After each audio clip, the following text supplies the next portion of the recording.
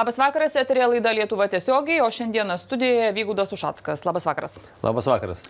Pone Ušatskai, pradėkime nuo to, kiek iš tiesų rimtas jūsų sprendimas dalyvauti konservatorių e, pirminiuose prezidento rinkimuose. Labai rimtas, jeigu aš jau grįžau, grįžau po darbo atstovaujant Europos Sąjungą, e, po rimto darbo, gerai apmokamo darbo, grįžau tam, kad pasidalinti savo kompetenciją ir dalyvauti rinkimuose ir jau tuos metus specialiai važinėjau po Lietuvą, e, norėjau suprasti geriau skausmus ir bėda žmonių, tai aš labai esu rimtai pasiryžęs dalyvauti šioje demokratijos šventėje ir tikiuosi, kad žmonės... Prezidento rinkimuose jūs pasiryžęs dalyvauti. Taip. Aš klausiu, kodėl konservatorių, ar, ar rimtas... Todėl, kad esu, todėl pirmiausia, kad aš tik, tikiu uh, Gabrielius Landsbergio deklaruotų atsinaujinimų partijos, atsiverimų į Lietuvo žmonės. Aš noriu padėti, padaryti viską, ką aš galiu šioje vietoje, kai mes susidurėm su fundamentaliais iššūkiais, problemomis, kai Lietuvo žmonių skaičius mažėja, kai nematau aš vizijos ambicijos, kurią noriu čia atvežti, atnešti, pasidalinti ir laimėti. Ne tik tai, kad aš laimėčiau, kad Lietuva būtų laiminti. Kodėl aš jūsų klausiu? Todėl, kad mm, nelabai aišku, kaip jūs elgsitės e, jeigu jums nepavyktų laimėti pirminiuose rinkimuose. Nes vienas iki jūs sakėte, kad jeigu Ingrida Šimonytė, jūsų konkurentė šiuose rinkimuose, e, nuskins pergalę, tai jūs atsitrauksite. Po to jūs lik paneigėte tą savo pasakymą. Tai kaip yra iš tiesų? Kaip, gal jūs galite pasakyti, kaip jūs elgsitės, jeigu jums nepavyks e, pirminiuose rinkimuose? Tikrai aš pasakiau ir kartoju, kad aš tikiu ir kviečiu reikalauju, kad būtų orų sąžiningi rinkimai. E, garbinga kova, kad nebūtų nuleidžiama iš viršaus, nebūtų pasakoma, kam kas, kaip kas turėtų balsuoti.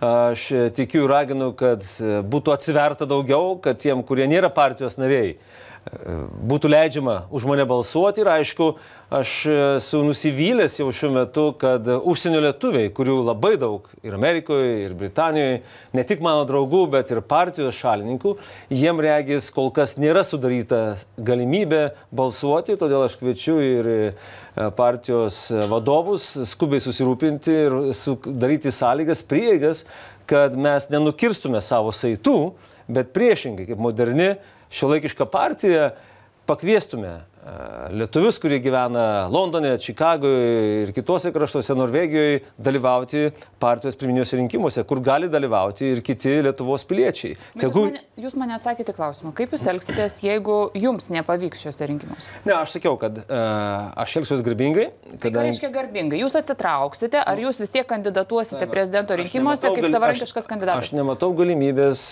pralošusiam pirminiuose garbingose, e, oriuose rinkimuose toliau tęsti kovą. Jeigu nebus manipulacijų, jeigu nebus diskriminacijos ir jeigu bus sudarytos lygios galimybės, aš be abejonės paremsiu Ingridą. Manau, kad mes esame... Trauksite, kitaip sakant, jūs nekandidatuosite prezidento rinkimuose. Taip, jeigu tai bus garbinga, ori ir e, atvira rinkiminė kampanija. Aš be abejonės atsitrauksiu ir paremsiu Ingridą. Manau, kad mes jau esam svajonių komanda, kuri padeda partijai atsiverti. Aš nesu nuleistas iš vadovybės, aš nesu paskutinę dieną apsisprendęs, aš išėjau pats, pats pasiskelbiau, kadangi siek, siekiu būti visų Lietuvo žmonių prezidentų, nepriklausomai nuo partiškumo ar politinių pažiūrų, ką aš deklaravau ir ką partija siūlo. Gerai, tai dabar aš jau suprantu, kas bus, nes jau jūs pats paaišote tą scenarijų. Iš to, kas vyksta. Nepaišau. Aš tik tai noriu, kad, tik tai noriu, kad būtų, būtų skaidrus. Aš suprantu, ko jūs norite, labai rinkimai. puikiai suprantu. E, iš to, kas dabar vyksta, panašu, kad e, visgi Ingridai Šimonytį kortos krenta geriau ir, ir gali būti taip, kad ji laimės šiuose rinkimuose. Na. Tai e, bet kokiu atveju, jūs labai dažnai vartojate tą žodį garbingi rinkimai, ar ne? Tai lik duodate suprasti, kad gali būti tam tikrų manipulacijų. Jūs tomis manipulacijomis po to galite pasinaudoti, pasakyti, kad štai rinkimai buvo negarbingi, aš turiu žmonių palaikymą, aš turiu visuomenės palaikymą ir aš vis tiek turiu kandidatuoti prezidento rinkimuose kaip savarankiškas kandidatas. Viskas aišku, kaip čia bus. ne, aš dar sėki kartoju. Aš, apie tai mes kalbėjom su Gabrieliu Landsbergiu mm. prieš gerą mėnesį ar du. jog abu du kalbėjome apie tai, kaip svarbu, kad būtų orus ir sąžiningi rinkimai. Tuo metu dar visi tikėjosi, kad Nausėda dalyvaus konservatorių partijų atrankoje. Aišku, aš matau tam tikrų tam tikros vaidybos, tam, tikrų, tam tikros režisūros, e, kur yra nuleidžiama iš viršaus vadovybės palaikoma kandidatė. E, nepriklausomai nuo to, aš pasiruošęs ir laukiu momentų, kai mes galėsim debatuoti, diskutuoti. Pirmiausia, apie mūsų vertybės ką mes išpažįstam, e, debatuoti apie mūsų kompetenciją, kas yra geriau pasiruošęs vykdyti prezidento pareigas ir kalbėsim apie viziją, kurią aš turiu laiminčios Lietuvos viziją, pagal kurią mes norim pasiekti, kad už septynių metų Lietuva pasiektų ES pragyvenimo vidurkį, už dešimt metų Lietuvoje vėl laimingai, sočiai ir oriai gyventų 3 milijonai Lietuvos gyventojų. Pone Ušatskai, e, nelabai galiu patikėti, kad jūs, kaip jūs ir minėjote, įdėjote daug jau e, savo darbo į tai, kad jūs kandidatuotumėt. E, e, baigėte savo diplomatinę karjerą. Ir dabar e, štai staiga jums nepasisekus pirminėse rinkimuose, jūs atsitraukėte ir remiate į Gridą Šimonytę. Sunku to patikėti yra, kad jūs taip galite pasielgti. Daiva, laikas parodys, aš tik noriu, kad žmonės patikėtų, kad aš sugrįžau į Lietuvą tam, kad padaryčiau viską šiuo kritiniu laikotarpiu, kas įmanoma. Kam jums partija? Pasakykit, jūs galite kandidatuoti kaip savarankiškas kandidatas. Aš, aš Taip, jūs būsite pavadintas kaip partijos partijos išdavikas greičiausiai šiuo atveju, nes jau leista suprasti, kad jeigu jūs neatsitrauksite, kaip jūs dabar žadate, tai greičiausiai e, tai bus suprasta kaip partijos išdavystė. Bet kam jums partija? Jūs galite... Pirmiausia, aš esu partijos vienas... narys, aš esu partijos taip, narys, taip. aš esu nuseklus žmogus, kai įstojau partiją sunkiausių partijų laikotarpiu, kai buvo partija pati nepopuliariausia finansinės krizės laikotarpiu. Ir aš, aš tikiu, ką aš minėjau, partijos atsinaujinimu, partijos atsiverimu į žmonės. Ir aš todėl pasiskelbiau anksčiau negu kiti kandidatai paskutinę dieną, ar pata, paprašyti, ar įtikinti, e, apsisprendžiau prisidėti prie partijos atsinaujinimo, tam, kad žmonės galėtų dalyvauti demokratijos šventėje. Aš kviečiu, kad žmonės registruotųsi jau nuo vakar demokratijos šventė.lt ir dalyvautų lapkričio 3 ketvirtą dieną, pirmas iki Lietuvos politinėje istorijoje įvyksančiose atviruose pirminiuose rinkimuose. Ar jūs būtumėte pasiryžęs aukoti partiją dėl prezidento posto? Aš esu pasiryžęs aukoti save, vardan laiminčios Lietuvos, kodėl aš sugrįžau ir kodėl aš kartu su savo bendraminčiais e, turime paruošti savo ekonomikos proveržio programą.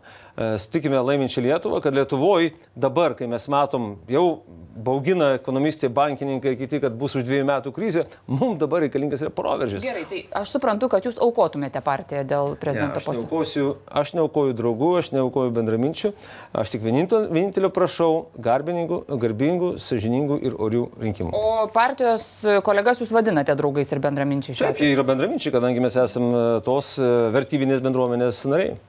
E, pone Ušatskai, į kokį rinkėją jūs orientuojatės? Aš orientuojuosi į dirbantį rinkėją, mhm. rinkėją, kuris e, tiki teisingumu, o ne tą neteisingą mokesčio sistemą, kuri šiuo metu, kuri šiuo metu egzistuoja. Nei kairieji, nei dešinieji nepasirūpino kad... Jūsų manimų tai yra konservatorių rinkėjas? Į, tai, į tą rinkėją, kurį jūs orientuojatės? Aš, aš siekiu būti Lietuvo žmonių, dirbančių, mylinčių, atjaučiančių prezidentų. Nepriklausomai nuo partiškumo. Ar jis yra konservatorius, ar sosdemas, ar, ar, ar valstietis darbėtojas. Prie to, kad jums partija visiškai yra netaip jau labai svarbu. Tai reikalinga, bet kokio, žinot, bet kokio politinėje sistemoje partija, aš manau, mums reikia partiją stiprinti. Aš, man buvo skaudu žiūrėti tuos aštuonerius metus, kaip e, tame tarpe ir prezidentė ganėtinai daug varė ant partijų, e, sumenkino partijų vaidmenį, kai tuo tarpu partijas tai yra, tai yra demokratijos ramšiai, kaip Taip, ir valdžių padarinimo. Rinkėjas yra labai aiškus, o jūs skirtingom auditorijom kalbate skirtingomis kalbomis. E,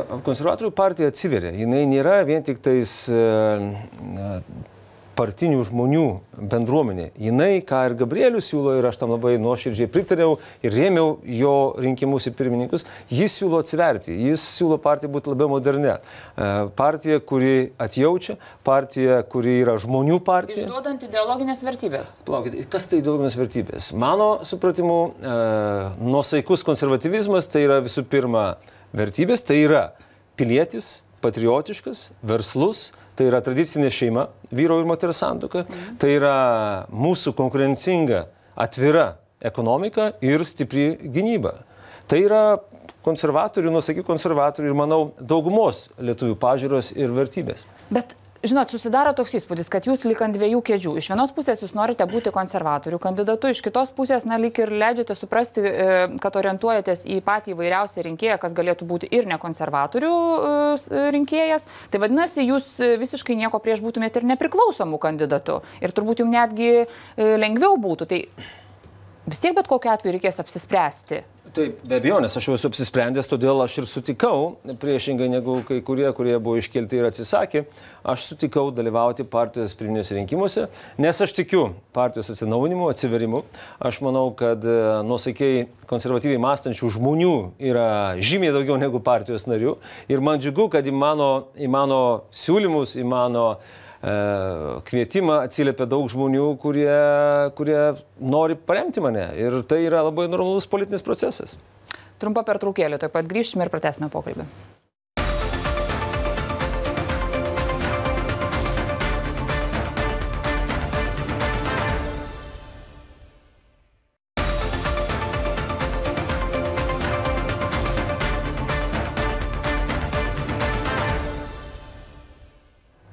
Grįžtame į studiją, kurioje šiandieną Vygaudas Ušackas. E, pone Ušackai, kaip Jūs galvojat, kas Jums labiausiai gali kišti koją e, rinkimuose? Nu, nežinau, matyt, e, kiša koja tie, kurie bando visokiausias lipdukus ir ne, sugalvotus dalykus, šmeištus lipdyti ir žmonės, žmonės gaila, kai kurie žmonės to patikė. Jūs pats jau užsiminėt, šiek tiek leidot suprasti, apie ką čia kalba. Tai iš tiesų daliai visuomenės iki šiol kyla labai daug abejonių ir klausimų ir jūs iš tiesų nesate dar um, aiškiai atsakęs um, į tuos klausimus ir į tas abejonės, tai yra tas Rusijos šešėlis, kuris nuolatos paskui jūs driekėsi. Tai gal jūs galit visgi paaiškinti, kokia yra ta jūsų tikroji pozicija? Tikroji. Ne ta, kuri vienai auditorijai sakoma vienokia, po to taisomasi ir taip toliau, o ta tikroji pozicija. Mano tikroji pozicija buvo labai nuosekli nevertinkit Vygaudo Ušatsko pagal Rusijos žiniasklaidą, ar, tuo, ar pagal tuos Lietuvos apžvalgininkus ar politikus, kurie naudojasi Rusijos žiniasklaidos skelbiamomis netiesomis ir fake news, o vertinkit pagal tai, ką Vygaudas Ušatskas veikė per 28 metus kaip jis buvo pasišventęs Lietuvos stojimo į ES ir NATO, kaip aš gyniau ir ne, rizikavau savo gyvybę, neperdėsiu, už tai, kad būtume kartu su amerikiečiais Afganistano fronte ir kaip aš kalbėjau ne iš šiltų laisvosios televizijos kabinetų ar Seimo kabinetų ar vyriausybės rūmų, bet Maskvoje, gindamas Ukrainos nepriklausomybę, teritorinį vientisumą ir kalbėdamas tiesiai Putinui ir Lavrovui akis, kad jūs pažydėt tarptautinę teisę, jūs aneksavot Krymą ir jūs sukėlėt karą.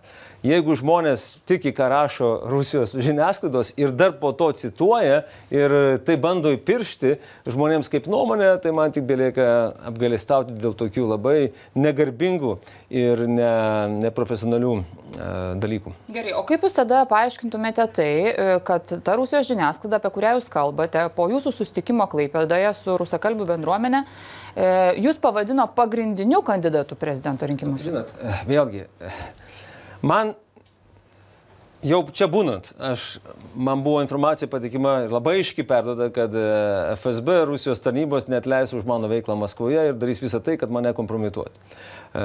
Profesionalai, kurie paėmė Novąją gazetą, nors kuri yra, iš tikrųjų mane nustebino Novąją gazetą redakcijos publikuotas straipsnis nepatikrinas faktų, E, vis dėlto jie, jie, tie mūsų apžvalgininkai pradeda to remtis ir tai skleisti ir mane kaltinti. Niekas ten nebuvo, niekas ten to negirdėjo ir nerašė.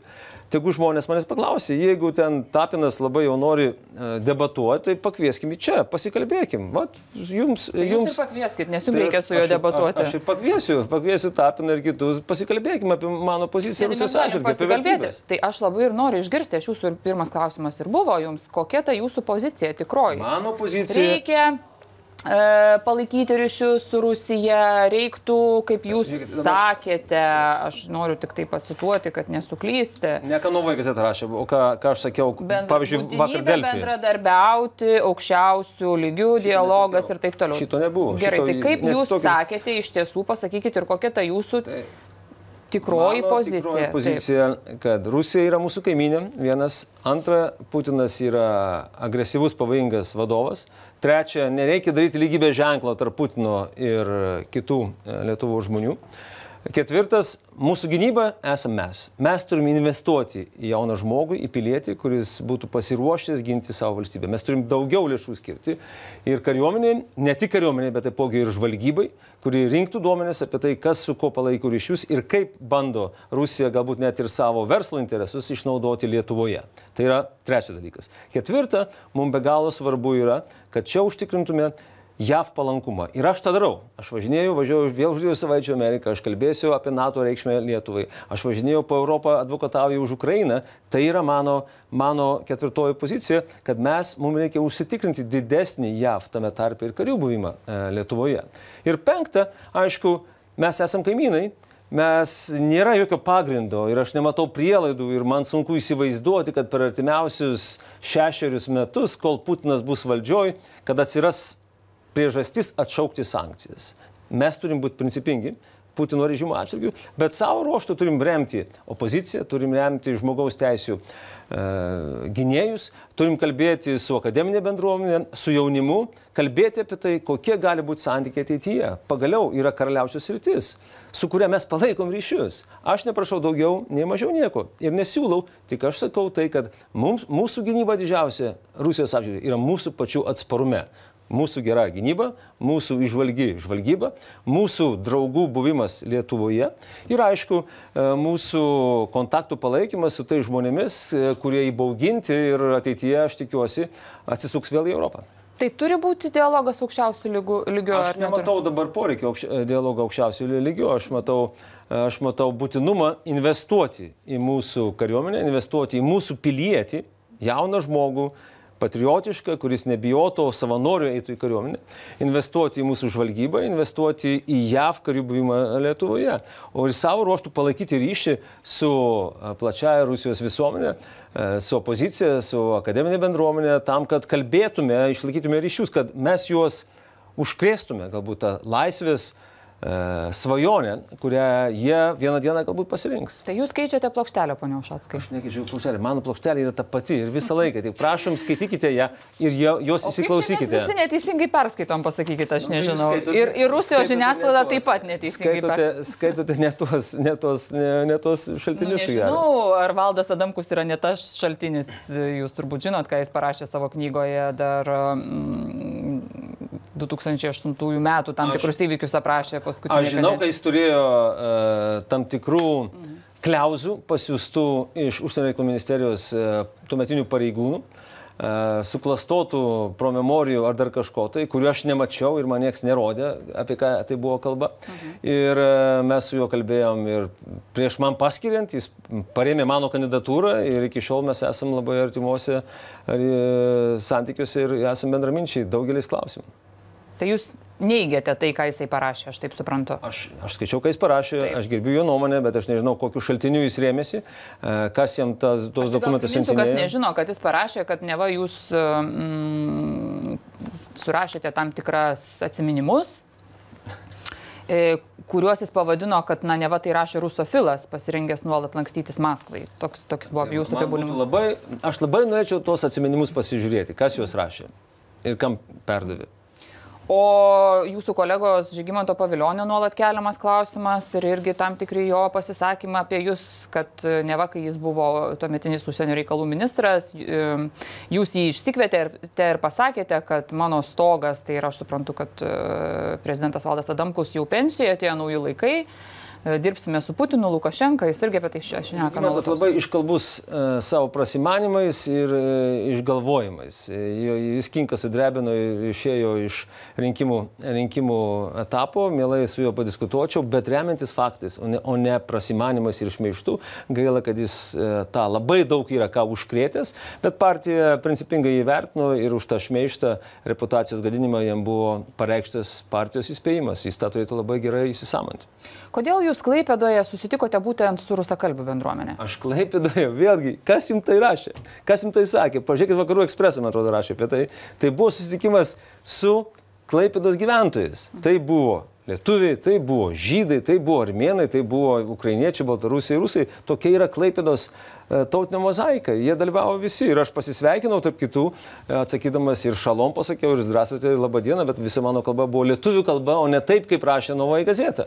Tai vėlgi e, neatsituokit ir nesiremkit Kremliaus propagandą, o labiau pasitikėkit žmonėmis, nes antraip jūs pilat tą vandenį ir kai kurie apžvalgininkai pila vandenį ant Kremliaus propagandos malūną ir tik padeda supriešinti žmonės. Nes to Kremlius ir siekia. Siekia, kad mes tarpusavį e, bartumėmės ir prarastume savo atsparumą ir, ir budrumą. Na taip, kai kurie apžvalgininkai jūs labai tiesiai šviesiai vadina Kremliaus kandidatu.